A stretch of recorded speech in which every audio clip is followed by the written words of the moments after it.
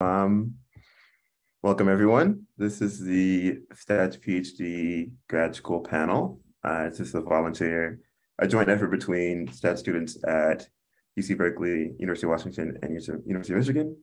Uh, yeah, and we're just gonna, the basic goal of the panel is to, sorry,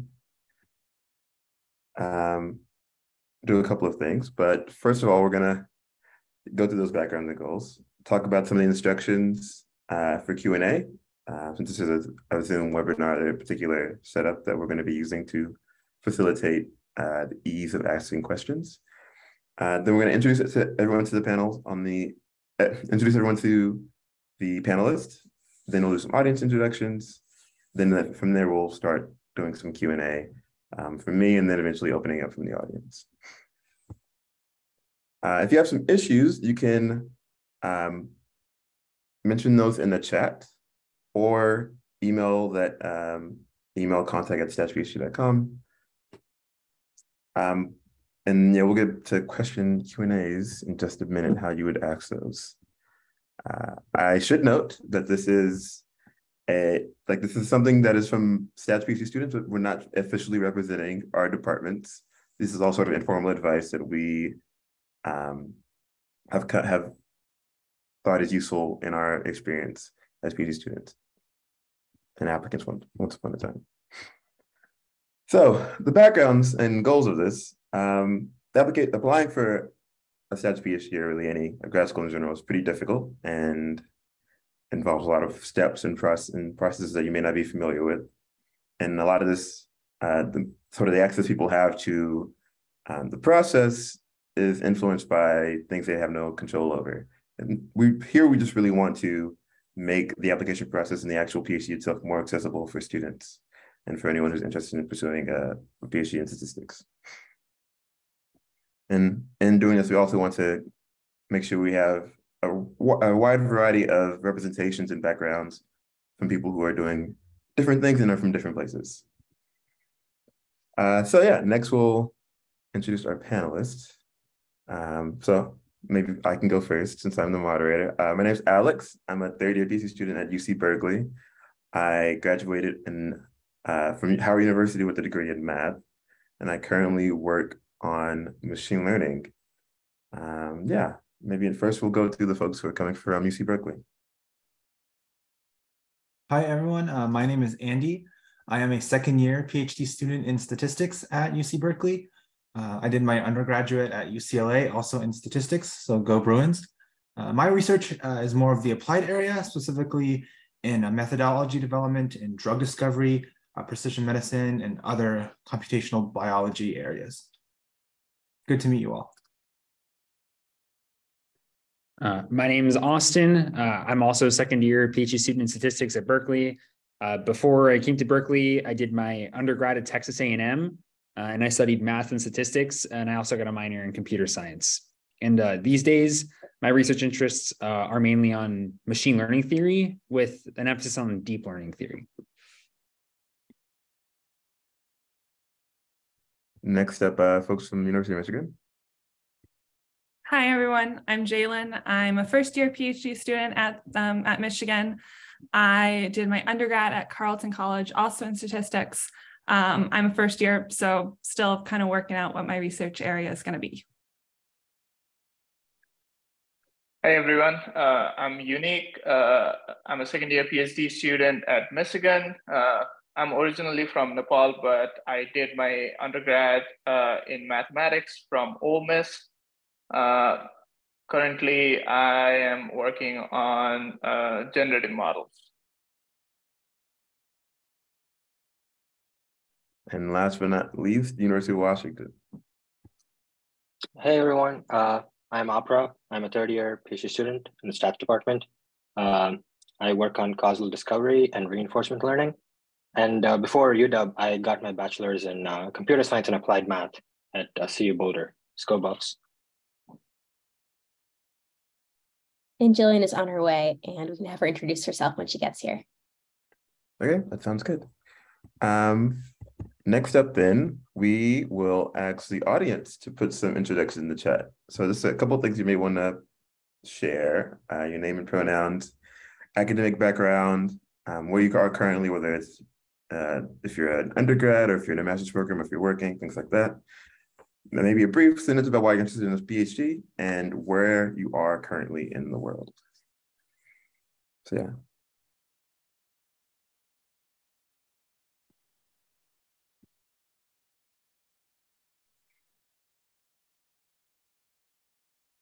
Let's see, let's see.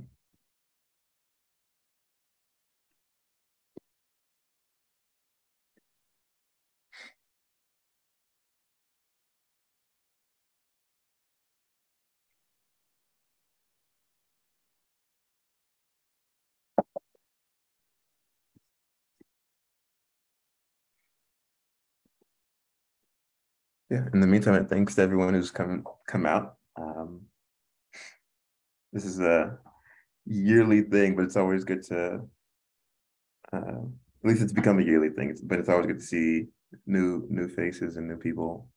Um, good to always glad to help folks. Uh, oh yeah, and also send your messages to everyone and not just the host and panelists, so everyone can see your introductions.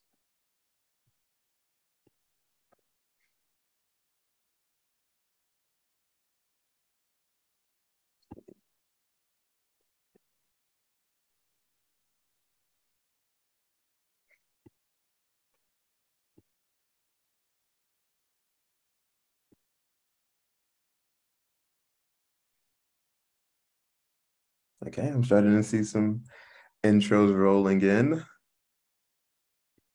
See some folks with causal stat genetics, causal inference, um, lots of different places too, from Cal, seeing Utah, people who are working currently. It's always good to see like a nice variety of folks. Hopefully we can get a um, the panelists can give you a good idea of how different people from different backgrounds end up where, where we are now.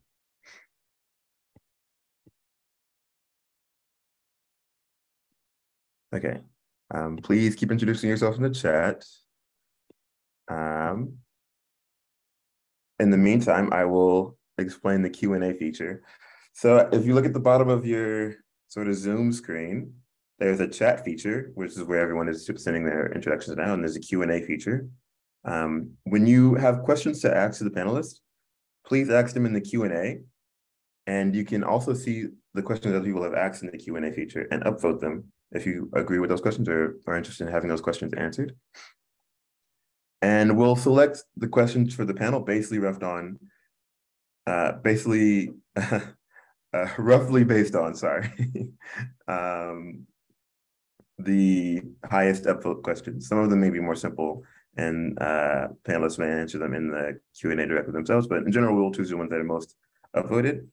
And you can submit a number of questions basically throughout the entire panel. Uh, and just to reiterate, finally, please use the Q&A only for questions for the panel. If you need have help or need help for something else, you can send it to the chat um, or email contact at statsphd.com. That's the general setup. Okay. So I um, do we have all our panelists now? Let's see. Yeah, I was able to join. I think you were just waiting on me. okay. cool, cool, cool. So let's get the panel started then. So I think first up, I'll ask a few questions, and then as um, people start answering, we can the attendees will have some things in Q and A, and we'll go from there. But first the one is an easy one. Why did you choose to come to the Stats PhD program? Uh, and yeah, you can jump in, and if people are too quiet, I'll poke somebody. But okay, I guess I'll jump in since I didn't introduce myself. Um, so I'm Jillian. Um, I think everyone uh, introduce themselves. Um, I, just so you know who I am, I'm a PhD student, a third year in our University of Washington statistics program. Um, and I got my master's uh, down at Texas A&M before this. Um, and then my undergraduate is in uh, like psychology and theoretical math um, at the University of Texas at Austin. Um, so I'll say the question was like, why did I join a PhD program? Um, for me, it was not uh, a lifelong dream or a plan that I had at the beginning of any age. um, it just kind of happened. Uh, I was in psychology before this. Uh, I was going to be in clinical psych, doing PhD programs in that. And life just kind of took some turns. I got into statistics. I got my master's thinking I would be a data scientist and go into industry. Um, and then when I finished my master's, I just felt like I wanted to do more school. Um, I really liked teaching and I wanted to be able to teach at the highest level um, and not have a cap or a ceiling of where I could go. So that's why I started my PhD. But since then, I have kind of fell in love with natural language processing and will probably go into industry after for that. Um, so that was kind of my path to here. Thanks, Jillian. I think I hear a lot of themes that I've heard before, especially with like just sort of happening upon you and you know just keep going higher and higher. But uh, anyone else want to answer? Uh, yeah i can chime in. So yeah i mean the reason i kind of pursued a phd is uh, i've always been very interested in uh, in research or i shouldn't say always since getting into my undergrad. I mean i just picked stats in undergrad and math because i i just liked them in high school. But uh when I got there, I very quickly realized that I liked the idea of doing research and just spending all your time working on like new problems, almost just like for the sake of it. Uh, and when it comes to statistics, uh, I've always been very attracted to like using data to make um, you know more educated decisions. But when I was applying, I also applied to a bunch of CS and biostat programs um, because eventually I realized that machine learning is the topic I really liked. Uh, and there are definitely multiple field, like multiple ways uh, you can attack that with different degrees. So, um, uh, yeah, statistics ended up being the best fit, but uh, it could have it could have gone another way, uh, you know, uh, very easily. And I, I, suspect that there are other people on this panel too who applied to programs other than just statistics. Uh, yeah, but that's my short summary.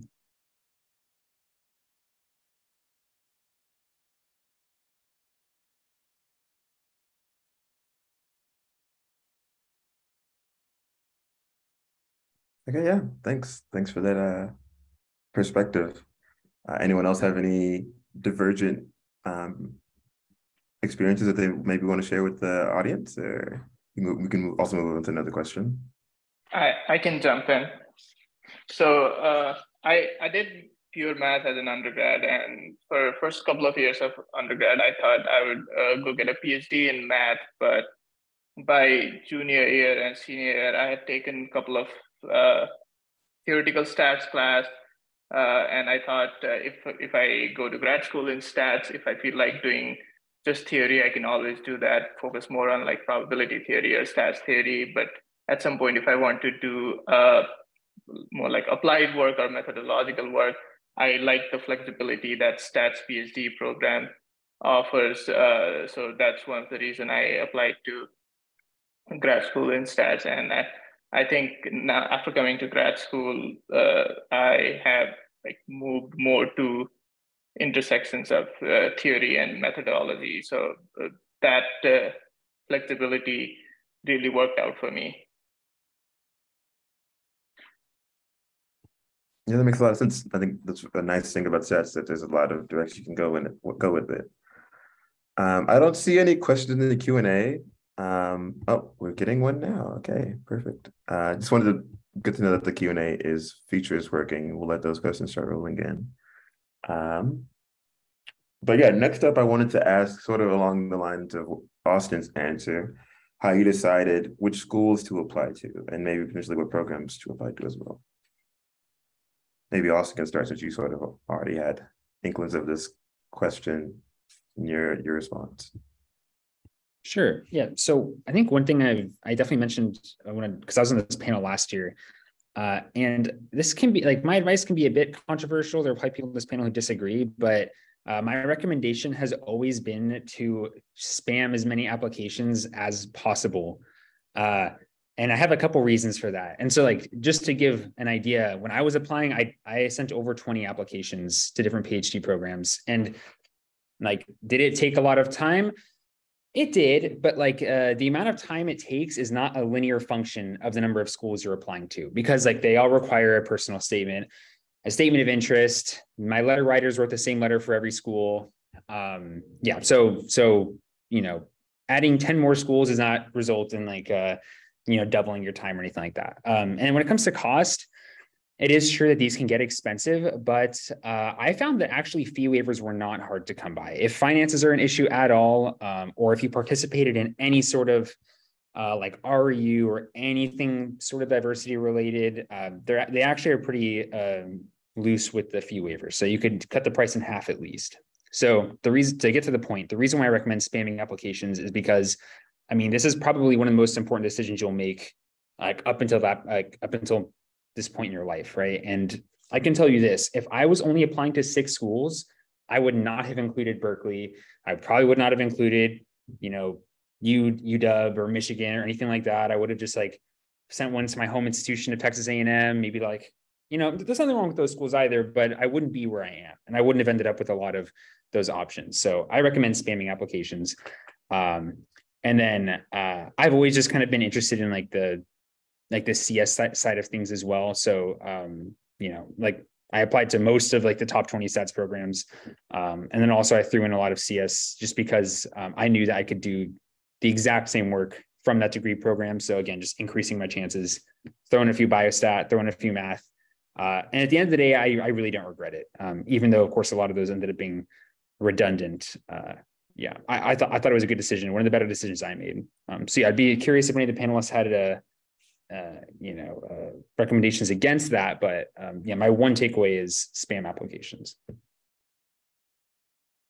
Definitely a hot take. Um, I will add the caveat that you should probably only apply to schools you intend to go to, and not only apply just to add an application. But I think Austin had that assumption baked into his answer. Um, Andy, you were going to say something? Yeah, I was just going to say that uh, I totally agree with Austin. Um, and this is actually one of the regrets I had when I was applying to graduate programs was that I uh, was, uh, I think, maybe thinking about cost and like maybe doubting my own abilities and stuff, and maybe taking advice too many too much advice from other people. And as a result, I think I only applied to um, six to eight programs, I believe, maybe maybe eight. Um, and I think I applied to Berkeley on a whim, as in like uh, I looked at my undergraduate applications, looked at the schools I applied to there, kind of like mimic that list for graduate programs, not really considering the fact that grad school and PhDs are very specific, and the program uh, they vary from program to program. It's not so much like undergrad where you apply to schools that have a high ranking in US and News and World Report. You're really looking at what you're interested in, uh, what you want to do, and if there's faculty there that kind of like meet um, kind of your interests and kind of align with what you want to work on. Uh, and I do feel like had I, you know, been more confident and applied to more schools, I could have had more opportunities. Granted, I'm very happy at Berkeley. I love it here a lot, but I do feel like if I um, was more confident, I did apply to more programs, I could have more opportunities. Um, and then I could, you know, just give myself more more options at the end of the day. So uh, just wanted to echo what Austin said that like, yes, if possible, and you have the energy and you have the bandwidth, uh, apply to all the schools that you think will, um, that you will fit in and that fit your interests well, because this is a very important decision, you know, because I think the PhD is going to be like your terminal degree. You're not going to get any more degrees after this. This is what's going to go on your resume. And that's what people are going to look at when you apply for jobs. So it's a very, very important decision. And you want to make sure you have um, access to the the the the most amount of, the most amount of options as possible. I think um, uh, although I don't think Austin is wrong, I think there's like some assumptions and caveats that you need to be said. So it definitely depends on who you are and what you're looking for. Um, if you know exactly what you want to research and you are dead set on that, um, you need to make sure that you research that there are professors and outlets for you to do that. Um, if you are someone who doesn't really know what they want to do, then yeah, I think you have the liberty to kind of have uh, apply to like a large range of places. But I think two things that haven't been said is that one, uh, for some people, location might matter. Um, so if you're someone who like really like sun, you probably shouldn't come to Seattle because it doesn't really get sunny here.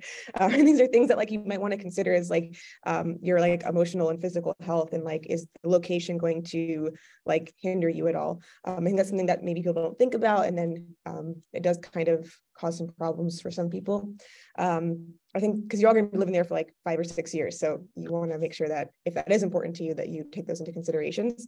The other thing that I think that we haven't touched on is that every program is extremely different and the amount of classes and what they focus on and their requirements are different and it's something that i didn't really look into when i was applying for schools um, and so i think that was a mistake on my part. I mean i love uw and everything but um, i think that it would have been better if I had really looked into like what is the requirements and like how many classes are required, what kinds of classes are they like focusing more towards, you know, Bayesian or frequentist or bio or things like that. Um, I think that those are also things to take into consideration, especially if you know exactly what you want to do. Um, you want to make sure that matches with the, your priorities. Thanks, uh, Austin, Andy, and Julian. That's very helpful for our uh, attendees. I think definitely the different perspectives and different considerations are important to have. There's not really a one size fit all answer probably in general for applying to uh, PhD programs. Um, I'll maybe ask one more question and move to the Q&A. Um, I'll also remind folks to um, upvote questions they think are interesting in the Q&A so we can get some idea of priority. Um, but yeah, so maybe to, to give a brief sort of um, to start a brief discussion about the application process. Um, I'm imagining most people most people know, but the general setup of an application to the PhD program is you have your statement of purpose, maybe a personal statement. Um, you know, you have um, letters of recommendation from faculty, things like that, and then you have your transcript. That's in general what a, a grad school application entails. Uh, and I'm curious for, from our panelists what parts of the application you were most concerned about or maybe um, most worried about or potentially spent the most time on? Um, speaking for myself personally, I was very worried about my transcript. I felt like I hadn't taken enough math classes. Um, I didn't know if I uh, sort of like the, the where I get my degree would be reputable to the schools I was applying to. Um, and so I ended up spending a lot of time on my statement of purpose and making sure my I talked a lot to my recommenders to make sure that they communicated my skills to uh, the places I applied to. But I'm also curious to hear what other people have uh, have experienced in that regard. I think the thing I was most worried about was my statement of purpose, uh, because I I did not decide to go into stats because I wanted to like focus and learn on something very specific. So I don't know. I just wanted to learn more about stats and more about math. That that was my primary reason for applying to PhD programs. So in my statement statement of purpose, I was trying to express that and there was like i could not it was very difficult to express that. So it ended up being like i was interested in a lot of things. So my uh, statement of purpose became very broad. And looking back i think a lot of places i did not get into was because my statement of purpose was very broad. And maybe that was uh, seen as like a drawback by lots of admission committees. Um, so i think that was like something that um, I was struggling with uh, back then. And I think if I was to give advice to people who are applying right now, I think it'd be to figure out why you actually want to do your stats program and articulate that um, and be specific about how you're doing that. Um,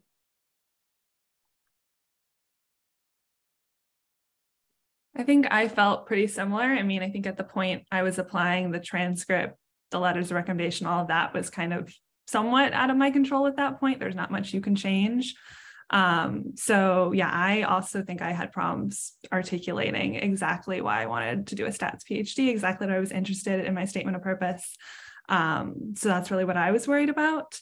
Um, as far as advice for that, I would just recommend starting early, um, making sure you really sit down, take some time to think about why you're doing this, what you're interested in. I also had people read mine. Um, and that was super helpful. Um, so I'd recommend that as well if that's an option for you.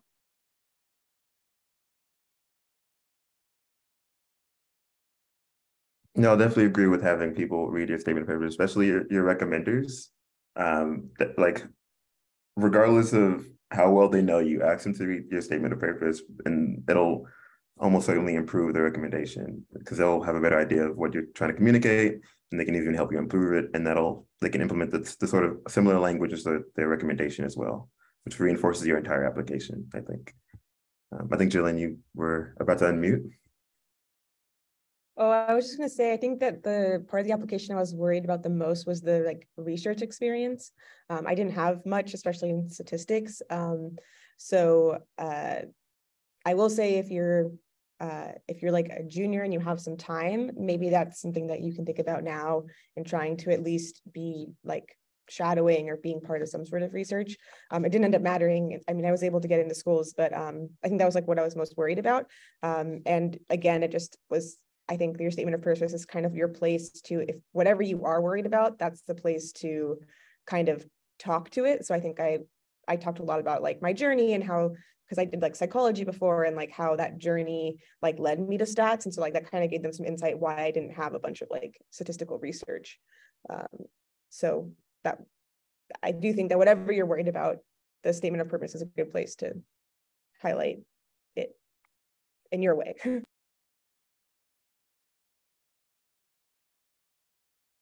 Awesome. Uh, hearing a lot of the statement, statement of purpose is a good tool to um, express your intent and refine your your purpose and goals. Uh, okay, let's start. See, let's start answering some questions in the Q and A. Um, so the most upvoted one currently is how was the transition between your undergrad and grad school? Um, I'll. I think maybe I had the the weirdest one or one of the weirdest ones because I started my program during uh, 20 the fall of 2020. So my first year was entirely virtual. Um, and it was a very difficult transition uh, because of that. But uh, maybe the panelists can also speak upon that experience. Yeah, I think that uh, my transition, um, I mean, first of all, the like the the more immediate transition, like when I first got to Berkeley and I walked into the building, um, I thought it was awesome. And I thought it was like one of the best decisions I ever made because I mean, it just feels very different to be in a department as an undergrad versus a grad student. Like um, they, showed me my office, like it's it's nice, comes with the monitor, the desk, the chair. Uh, like the professors actually care to know your name, or maybe they know your name before you've even met them because they were on the admissions committee. Um, uh, like you get to kind of be an instructor almost like whenever you're in, in front of the like the classes helping teach. So um, i think I, I think i just overall felt much happier in like my day-to-day life because i felt like i was a more significant and more permanent part of the department. Uh, i think the coursework was quite difficult for me um, uh, but that's just more of like the same. I mean you take classes in undergrad ideally you're taking hard classes as an undergrad. Um, and so like that's not out of this world. I will say that like the advisor hunt and trying to start research, that's a little that was a little um, interesting, a little hard to get a, a, grasp on. But the good news is that they expect first years to have issues with that. People are happy to help. No one expects you to do amazing things your first year. Uh, just take your classes, get your bearings.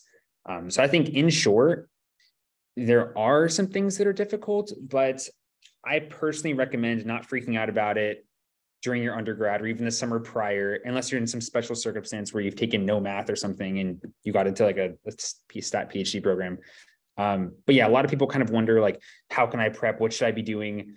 And my recommendation, honestly, is not to stress too much about it because, um, like, you're really not unique in that regard. Like, everyone kind of has, uh, you know, some some uh, adapting to do. Um, and so, yeah, I, I, I wouldn't I wouldn't let yourself freak out over that. I'll add on to that. I mean, also coming from Berkeley and being in the same cohort as Austin, uh, I echo a lot of those sentiments. Like going into, I think the first year of a PhD program in statistics, you're taking classes.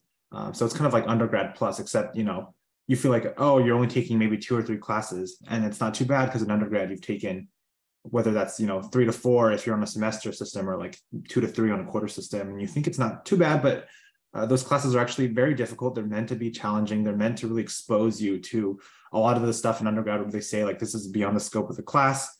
Uh, beyond the scope kind of falls into what you cover in a grad school curriculum. Um, so I'll say that taking those like first like first year courses in like theoretical statistics uh, and, and applied statistics was definitely like a lot of time. I spent a lot of time like kind of reviewing the foundations, making up for what I didn't learn well in undergraduate, and really trying to like understand what's happening and not just like uh, you know solve something from a formula. So i think that true understanding does take time. Another thing is like depending on the program you're in like you'll have to do teaching your first uh, year.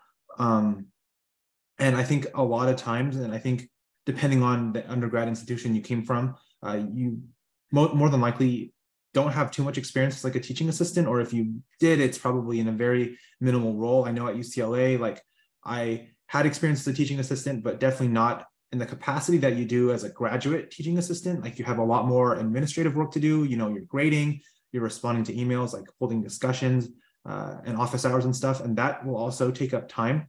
So it's important to know how to like set boundaries and balance um, your administrative tasks, like your teaching, as well as like doing well in your classes and really understanding the content. Um, so I think it, for me it was important to like I learned how to like find a good balance between um, kind of all the tasks I had to do uh, while also um, not like letting myself burn out because if it if it does get too difficult it gets it gets very easy to burn out but you know that's only the first year and then you have you know four more years as well so it's important to find that balance early on and then also kind of build up that endurance during your first year so you don't burn out afterwards.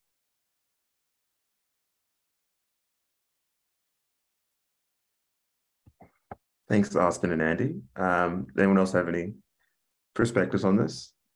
Otherwise, we can move to the next question, I think. Um, so yeah, so the next question, what's the best slash most effective way to figure out what faculty slash programs align with your personal interest? This is a toughie. I think what I did was uh, I so I was like working uh, on a project with one of my professors, an undergrad, uh, who later became a letter writer. So I went, I scheduled a meeting with him, and I asked him, "Hey, I'm interested in this topic. Uh, what are the programs you think I should apply to?" And uh, he basically gave me a list of like ten schools, um, and I did that to, with each of my letter writers, and each of them like gave me like a bunch of schools and that helped me like distill uh, and find what are the programs that I want to apply to.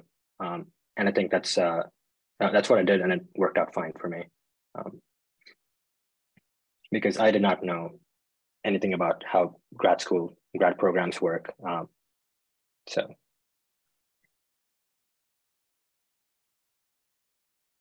Yeah, plus one on asking your letter writers. A lot of times they know a lot better than you do on how the field works. The the what is it? U.S. News uh, rankings can only get you so far.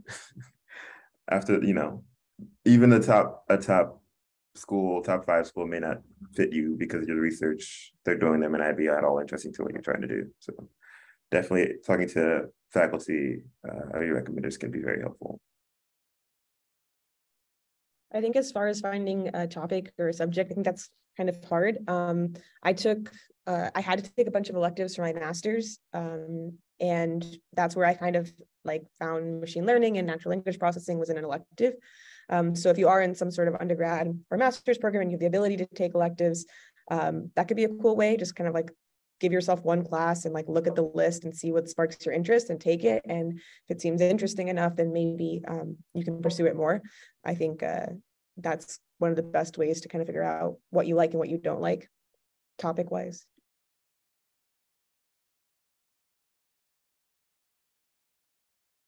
And uh, another thing, because um, obviously, like, yeah, uh, I I agree with everything that's been said uh, before. Uh, I mean, on this topic, um, and like, so yeah, getting professors' recommendations when it turns when it comes to actual programs to apply to is is definitely good. Um, when it comes to like the, the advice I kind of followed when it came to crafting my statement of purpose is I pretty much had the essay entirely the same for every school, except like, okay, between CS and stat, I'd like edit some things. Um, but really it was only the last paragraph or two that I swapped out for um, different schools saying like, okay, and this is why I'm a good fit for this school. Uh, and ideally you would mention a couple of professors, perhaps. At least that's the common advice I've heard. I'd be happy to hear if any of the panelists uh, think otherwise. But you should uh, find one or two professors at the school with whom it seems plausible that you'd like to work. Now, as an undergrad, I can only speak for myself, but like undergrads largely don't know anything specific about these research topics. Like, for example, I started in the beginning by saying I do deep learning theory. I knew nothing about deep learning or the theory behind it when I was applying. So I, even though it was over 20 schools, I went down their faculty list, clicked on all their websites. Um, honestly, just like essentially control F for like machine learning Uh, and if someone had the words like machine learning and also bio in there, because that was kind of my undergrad background, then I would like add them to a spreadsheet as like a potential person. And so it was it was just like a um uh just like a straight up search through all of the faculty websites. And that and that and then at the same time when I was doing that, for example, there's just like UCLA has a good stat PhD program. Uh, but while trying to find a professor's name to apply to, I realized that essentially they barely did any machine learning in their stats department. So as a result, uh, I ended up not applying to UCLA. So um, yeah, that just kind of gives you a taste of how I was exploring like the fit of different programs. Yeah, definitely faculty websites as well could be helpful. I uh, one um, difficulty I ran into ran into that a lot of uh, department websites are not updated very consistently. Um, but if you know the faculty's name, you can usually search up search it on Google Scholar and get an idea of what they published recently, and that helps you get an idea of what they're working on. Uh, I think Austin mentioned having one to two faculty there he was interested in working it with at any particular university. I think I was more like at least five, just because I wanted a lot of flexibility when I was going into the program. Because um, I, I, had general ideas of what I wanted to do, but I didn't um, have anything super specific and wanted to give myself room to move around, which is a nice thing about stats PhD programs is that you, you don't go in having to know specifically who you're going to work with for the most part. You can get spend some time um, looking around and trying things out before you commit for sure. Um, in general, that is, and you know, it varies a lot person to person, program to program, but that's usually how it's set up. Um, yeah. So, oh, unique, did you have a something? Oh yeah, so I I don't have much to add, uh, but uh, for me personally, I I did not have. Uh, uh, exact idea about what I was going to do. So uh, whenever I, uh, the schools I chose were generally large public schools that had a big uh, department size, so that when I go there, I, I'll have more options. And the, the, in that regard, I think Michigan, Berkeley, UW, generally these are large public schools with uh, relatively larger departments size. Uh, so if you if you do not have exact idea about which which field you want to work on, I think uh, generally looking for a large, large department is a pretty safe option. I yeah. definitely agree with that. Uh, I started my application process by talking to people about which departments were big, just because I didn't know. I had really no knowledge about um, which departments like did what. Actually, I just wanted to originally just stay at UCLA for my PhD, and that was like my my top choice. Um, but then after talking to others, like through internships and like my own professors at UCLA, they're like, okay, like here's like some other big schools that you can consider. Um, and that was a good start. It was a good start for me to like look at big schools because I wanted access to a whole bunch of resources and a variety of different research interests because I wasn't sure what I wanted to do. Um, but I think it's good to like, I think the very common big schools that uh, are, are, that most people apply to are like, you know, North Carolina State, um, possibly like Ohio State University, of course, the three schools that are here, like Berkeley, Michigan, and UW, um, are pretty, uh, pretty, pretty large. Uh, so I think starting there, and then also, as someone mentioned previously, taking into account where you want to be uh, physically, uh, the weather, and like whether that's like close to family or if that's something you want, um, those factors eventually get um, involved once you narrow down your list. Yeah, and then sorry to, to butt in, and like I think just just kind of uh to tie this back to my initial advice of spamming applications, what everyone said is is is definitely true. Like you want to pick one where you'll have lots of potential advisors and lots of research topics or like potential directions to go. And I totally agree with that. However, when I was applying, I just wanted to ensure that I was going to end up at a PhD program. And like, okay, given that I like, so I guess my my thought process was I would rather make that decision once I have acceptances in hand. Now, if there's no one that you can work with, then don't then like don't send the application, right? But if there's even a few people, having a program with only a few people you can work with is better than no PhD, in my opinion. You know, so um, I think that my general thought process was I'm not going to eliminate schools before I even ha- like know whether or not I can go there or anywhere else. Like my thought process was apply to all plausible options that I would go to if it was my only option, and then once I have acceptances in hand, then I know what I am I'm actually optimizing for, and then I can actually pick um, what's best. And like th- that ended up working well for me because Berkeley is like, you know, one of the most machine learning focused places like in the world. So like that ended up being very, uh, very good for me. But um, uh, yeah, I mean, if I hadn't gotten into Berkeley and I hadn't gotten into much of other places, I, I guess I still want to end up at a PhD program. Yep, definitely a trade-off to be made with um, how much you tailor. You don't, probably don't want to over tailor, but also um, don't want to um, shoot too broadly at the same time.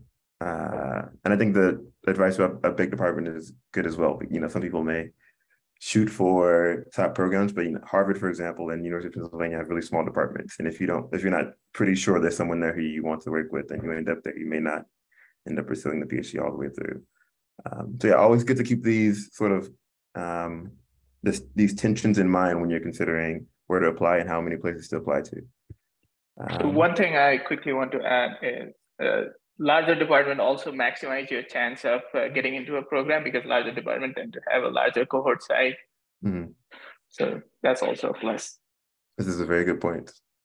Um, yeah, so um, uh, Sarah also mentioned in the chat that there are some questions that are being answered by text. Uh, so if there's there may be some questions you had in mind that are already answered uh, in the answered portion of the Q&A feature.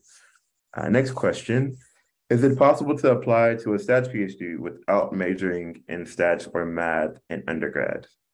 Uh, I think there's some examples of that on the pro in on the panel, but uh, do y'all mind elaborating a bit on this question?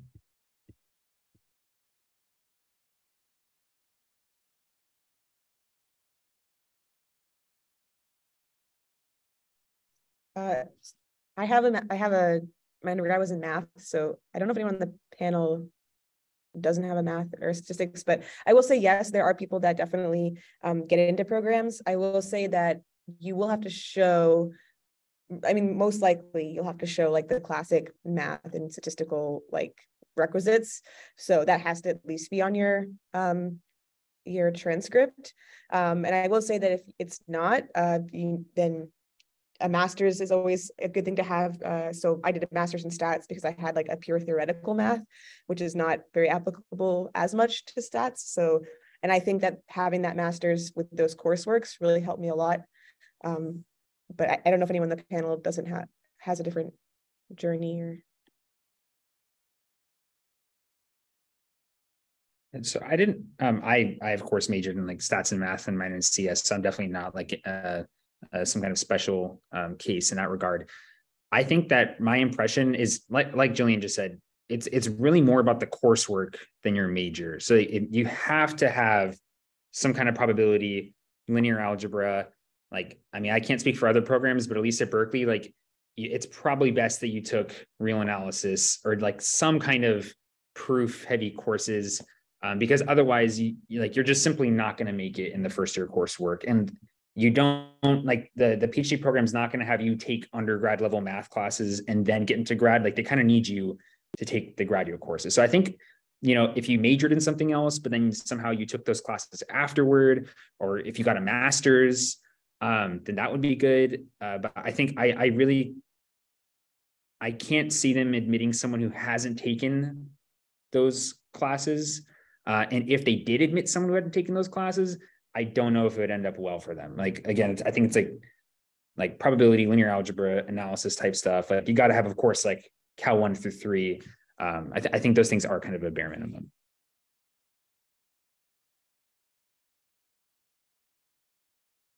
And I think most departments have similar statements on their application pages around um, expectations that you have taken a calculus sequence from Longo linear algebra and some analysis. Um, I think there's different departments may have more or less flexibility on uh, the amount of proofs you've done or proof-based coursework you've done, but it's only helpful to have that um, as you're going into the PhD program. Um, okay, next step. Um, is it fine to take a gap year between undergrad and starting a PhD to explore what one's interests are? What experiences help you determine what your specific interests are?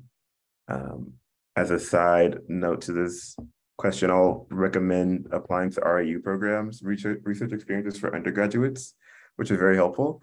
Um, they are basically programs at universities for the most part that allow undergrads, sophomores, juniors usually to do research for a couple of months in the summer uh, on a specified topic in a uh, with faculty. It's really helpful to get an idea of what researchers like and also get a letter of recommendation for your grad school application. But um, yeah, does anyone else on the panel want to add to that question? Yeah, I can speak to the gap year part because I did that. Um, I applied when I was an undergrad and then deferred for a year. Um, and I think this can vary by program. Um, it worked out for me because the cohort I was supposed to be in was actually really large. Um, so they were very happy to have me defer, but I'm not totally sure how that normally works. Um, but for me, I'm really glad I did that. I think I kind of needed a little bit of a break. Um, I took a data science job. I, so I was just working for a biotech startup. Um, and for me, I think that just it was a nice break. It was nice to kind of have it all worked out. I, I had committed to Michigan at this point, so I knew I was going. Um, but I think kind of working in industry for a year reinforced the decision that I wanted to go get a PhD, um, and also just gave me a nice little break from undergrad. Um, so I wouldn't. I made it very last minute decision, so I would not recommend doing that. Um, but I think the general idea of maybe working for a year or two um, can be a nice one um, if that's something you're interested in.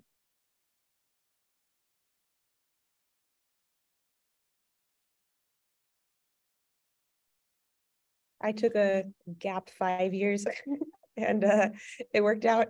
Um, I was doing psychology before uh, and was kind of working in that and then took a while to get my master's while I worked. Um, so uh, I don't know if it's considered a gap year. It wasn't really planned, but uh, um, yeah, I enjoyed I enjoyed my time. It allowed me to work in industry and kind of see what, what I liked and also reaffirm my decision to go back to school, um, get my master's, which was super helpful, especially in the first couple of years of my PhD in the theoretical classes. Um, yeah, so uh, I would definitely say that if you're feeling burnt out, you want to try industry first or any of that, don't be afraid to take any amount of years between now and your PhD. I think it's super normal and it doesn't like reflect reflect badly um, on your application, as far as I know.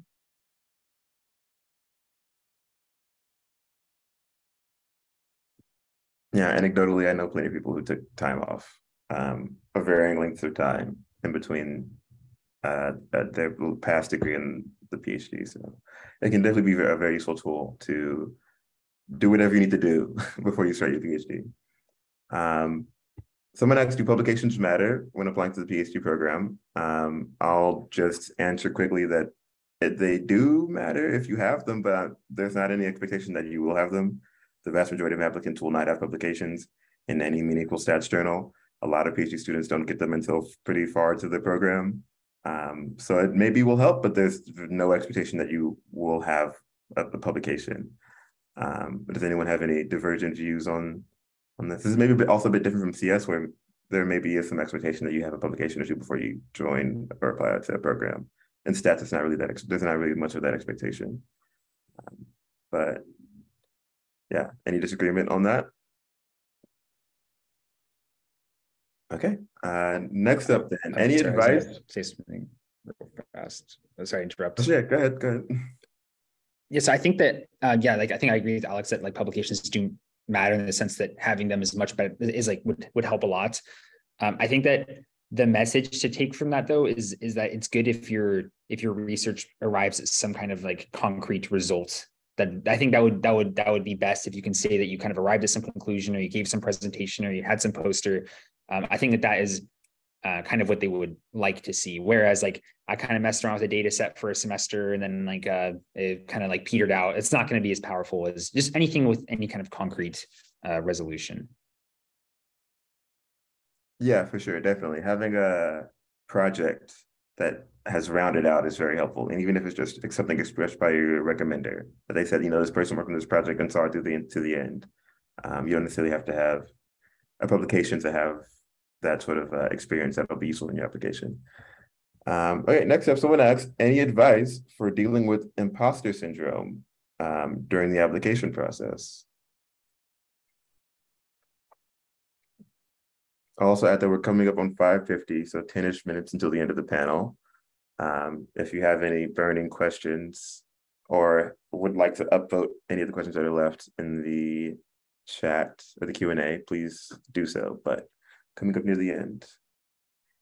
Uh, so I think imposter syndrome is super real in all parts of the PhD, at least in my experience, um, and super normal. Uh, and uh, even though you know that, it still sucks when you're feeling it or going through it.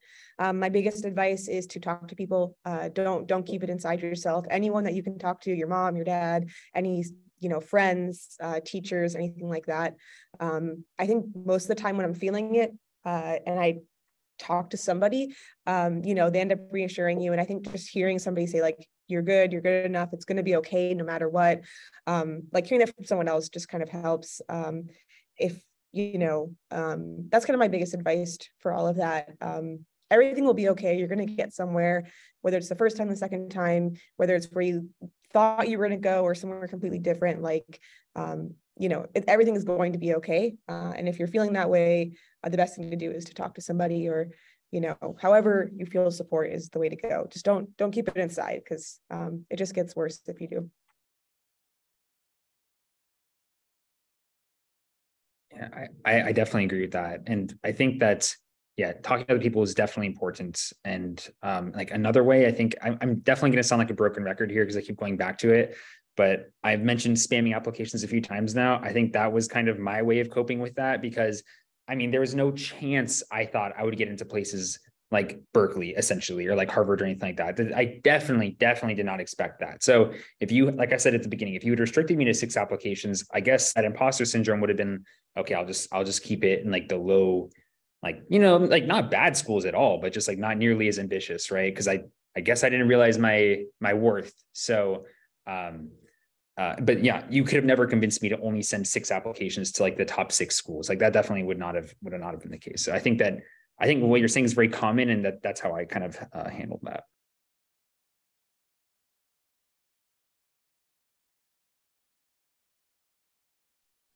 Yeah, it's uh, we're taking a shot on yourself as well. I I'll say. Um, yeah. Okay. So, uh, a question I like a lot actually. How much have your peers or cohort shaped your experience in your PhD more independent versus collab- versus collaborative? Um, I'll say that it's at least in at Cal during the first year in particular, the expectation is that you you can't do the class by yourself, and you kind of have to collaborate uh, to even get past the first couple of courses, um, and that sort of engenders a really collaborative environment in the department overall throughout the entire program. There's not really much com- competition between students at all, or any that I've seen actually.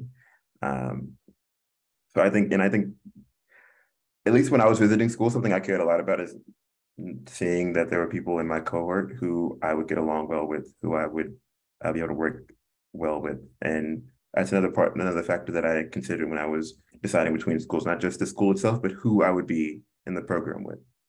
Um, but yeah, maybe someone else has a different experience from me. I I just agree with that. Um, the first years at Michigan all are in the same office, um, so we work together a lot. We're around each other a lot. Um, I feel really close to my cohort. Um, so yeah, I feel like it's been a very collaborative environment overall. Yeah, I totally agree with this. And what Alex said about Cal definitely applies. And you know, my friends in other PhD programs uh, say it's also true that like it's very collaborative. Uh, you know, um, my cohort at Cal is one of the largest cohorts, I think, in in there in the department. Um, but we're all still, I mean, the first year we took the same classes and we worked on the homeworks together. Uh, and like Alex said, it's pretty much impossible to like do these on your own unless like this is like your research area. You know, it's not expected that you do it on your own. Like the professors want you to collaborate. Um, and this is something that that I think most people in undergrad don't do because like uh, in, at UCLA, I like pro- never worked on homework with other people. Like I did pretty much everything on my own, and I wasn't actually used to collaborating. Uh, when I first, I was like, "Oh, this is strange," because I was just so used to like taking the homework home and doing it and then turning it in. Whereas like now, it's like, okay, people are gonna like ask you about approaches, and you're gonna have to explain your approach to other people, and it's it, it's uh, it's a very different thing. And I think it's very useful because. Um, if you understand how to do a problem, that's good, and you will understand your way of doing something.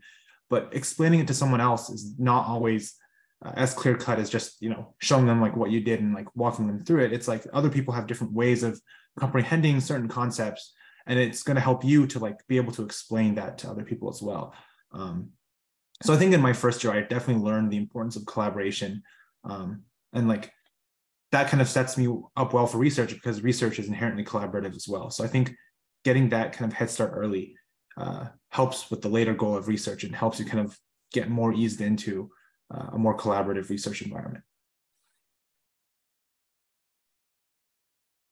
Uh, I'll jump in for the the UW uh, person, or me and Opera. Me and Opera in the same cohort. Uh, so um, our cohort's really close, uh, similar to Michigan and Berkeley. We uh, take first year classes together. Um, they want you to collaborate and work, which is super awesome. That it sounds like most a lot of PhD programs are working that way. Because um, it wasn't something that I thought about when I applied. Uh, was like because I also like was used to just kind of working on classes myself. I never thought in, in groups like Andy. I really appreciated what Andy said though about like the skills that you learn from that. Because I think as um, statisticians, we have to take a lot more coursework. There's a lot more theory, um, especially compared to like my computer science counterparts. Um, and they, uh, and their cohorts are normally like very large, at least here at UW, and like they don't really know each other. Whereas here we have much smaller cohorts, and you have to take these classes together for the first year. Um, so you get really close. It builds community, and I loved all that Andy said as well about like learning how to collaborate as a researcher. I never really thought about all of that. Um, I was thinking more just like the social aspect. It was great to like come in and have like, you know, 10 good friends and because I moved across country. So um, yeah, so uh, glad to hear that it's happening at other schools too. Awesome. Um, so yeah, we're uh, a bit very close to the uh, hour now. Um, before I answer, ask the next question, I'll do a couple things. First, I'm going to post a um, link in the chat to a Google form for feedback uh, so we can know how well we did and how we can do better next year. And I also wanted to let everyone know about an application review um, service at the University of Washington for people who are applying to PhD programs. I think the their uh, applications are due November 11th.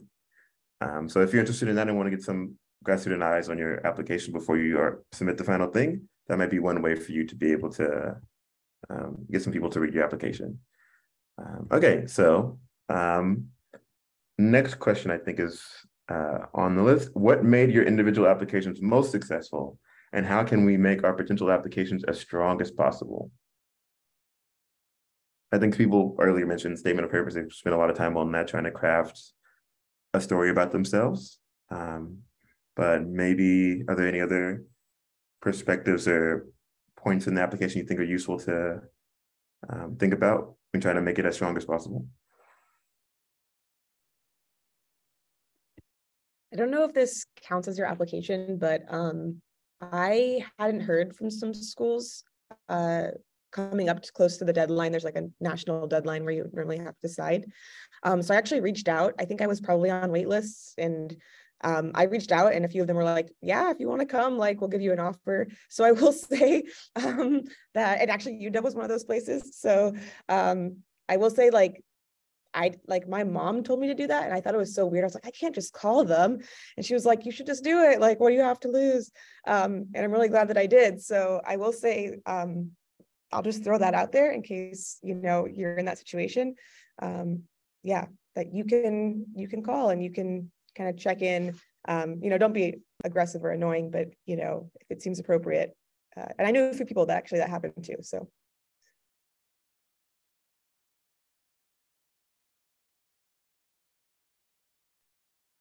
Yeah, that's a that's a very that's a very good story. I, I didn't do that, but that's a I mean, that could like it certainly couldn't hurt. So yeah, that's that's very interesting. That, that that's a good tactic.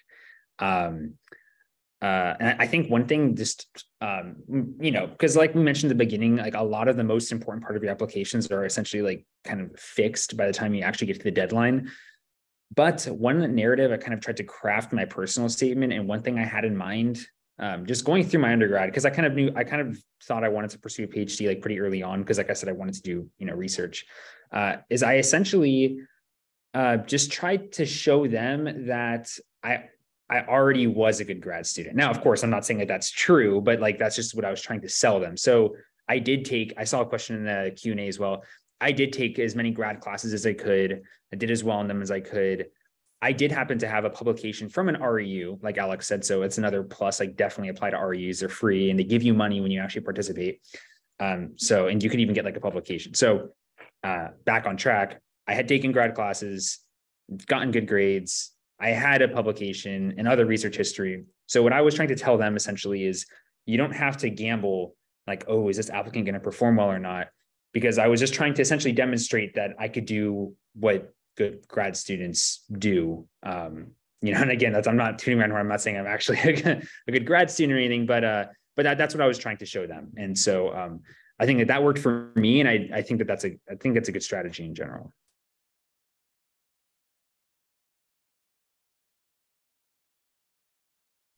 Yeah, I think um, if we assume that you're you're applying to grad school now, to applying to PhDs now, there's not a heck of a lot you can do to dramatically improve your application. But things you can do that can help marginally are things we've mentioned throughout this entire evening, like um, talking to your recommenders about your your background and about your plans, um, working on your personal statement and sort of crafting a narrative about yourself if you have any gaps, explaining those gaps in a way that is convincing to uh, an application review committee um, and making sure that you are applying places that you think fit well for you and that you can convince the committee, the admissions committee that you would fit well in. Um, these are sort of maybe marginal improvements in the grand scheme of things, but I think um, they can they can definitely make a difference if you're teetering on the edge of acceptance or rejection. Uh, and also, like Julia mentioned, following up after um, you know, you've heard from other places after the deadline starting to come up, trying to see if there's any updates they have that can be really useful for uh, this, you know, give them a little certainty that you're interested in the place. Because I think some grad schools uh, maybe hesitant to accept someone if they think they're going to go somewhere else. But if you reiterate that you're interested, that may make a difference in showing that you uh, in like making your application, bringing it to the top of the pile, basically. Um, so some things to keep in mind. Alex, sorry, one more thing. This is something I've heard. I have no idea how true it is. I've never been on an admissions committee, um, but especially you're moving across country. So I was a Texas applicant applying all across the country and including Washington.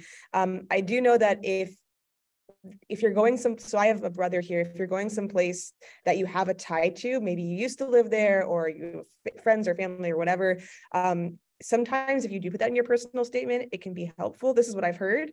Um, I don't know if this is true, but um, because they know that you're more likely to go because i think that they they get tons of applicants and so if they and they only you know they want to give out a certain amount and get you know acceptance rates and all of that so i do think um, if you're kind of on the edge if you're like a good applicant but maybe there's like they're trying to decide between a few um, this could be helpful um, so i have no idea if there's truth in that but um, it can't hurt uh, if it fits in your application somewhere. So. I believe it anecdotally. It just feels like there are a lot of people who are, um, yeah, who are admissions committees are choosing from a lot of good applicants. And so if you could just make that thing, make it just a little bit easier for them to say yes, um, it make it can make a difference. Um, we're a little bit past time. I think we've basically answered all of the questions. There may be some other questions that we can discuss if the if the panelists don't have any hard stops. Does anyone need to leave urgently? Okay, I think there's a take that as a no. Um, I think this is actually a good question to finish off on that. So, what is the most challenging part of your PhD, and what is the most rewarding?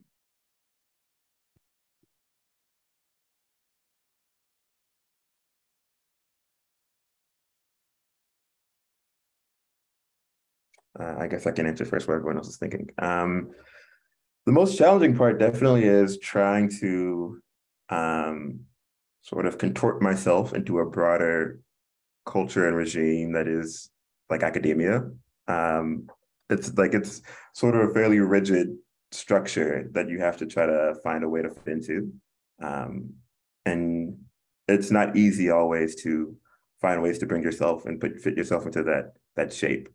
That being said, I think um, there are a lot of opportunities to make sure that you can like pursue the things you want to pursue while also still making sure you can bring yourself to the table as well. Because you know it's difficult to figure out how to do it throughout the entire process. I'd say most rewarding, I think, is being able to have the independence to work on things you think are interesting and talk to people who are doing really cool things I think something I forget all the time is that I go to a very like prestigious university. I, I, you know, pinch myself about it every other day that like I go to school with some of the top researchers and I can talk to anyone in any field, and basically they'll be the top researchers in their field too, uh, and learn a lot from them and develop a lot from that.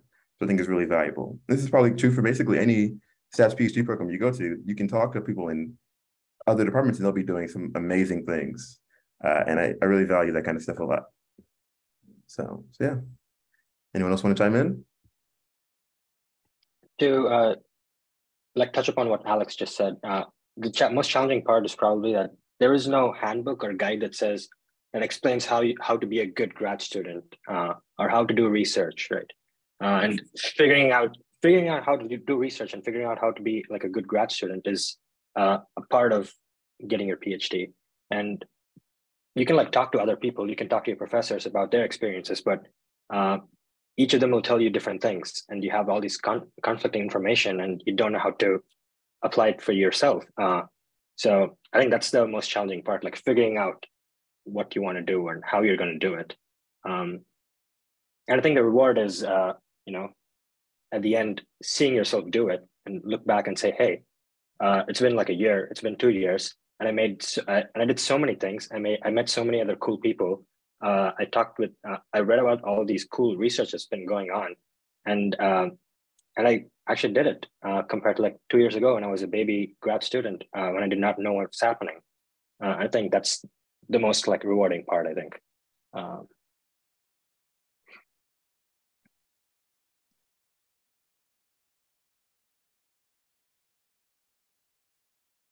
Yeah, I, I think um, the most difficult part, like Opera said it extremely well, It's just what makes a good grad student. For undergrad, I feel like it's way more clear. Like, okay, you got your transcript, you got their CV with research experiences, which like, you know, largely you just have to find and then like do what the professor says.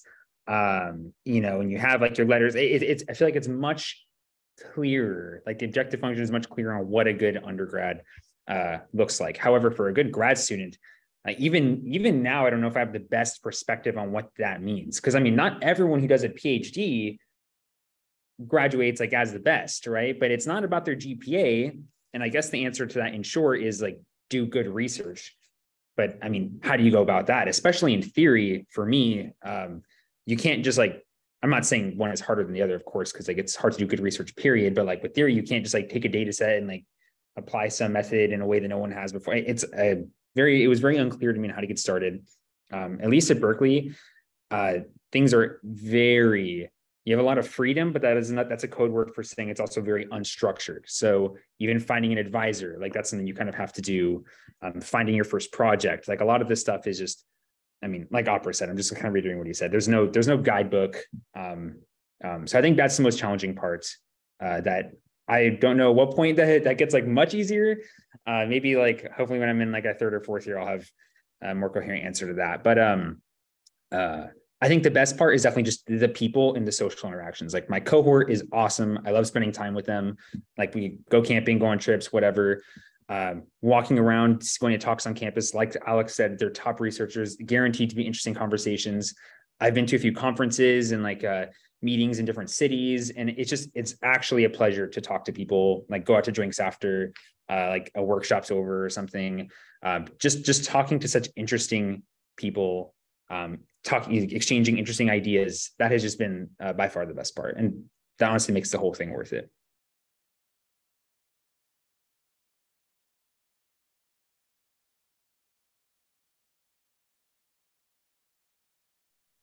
Okay, thanks for y'all's um, responses. I'm sure our attendees appreciate it uh, immensely.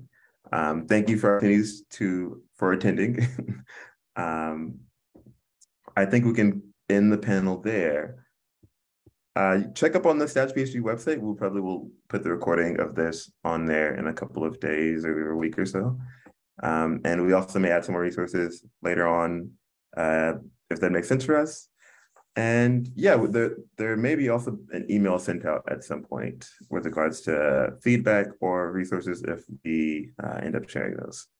But yeah, thanks again to our panelists, attendees, for everyone for bringing this together uh, and enjoy the rest of your evening. Bye, everyone.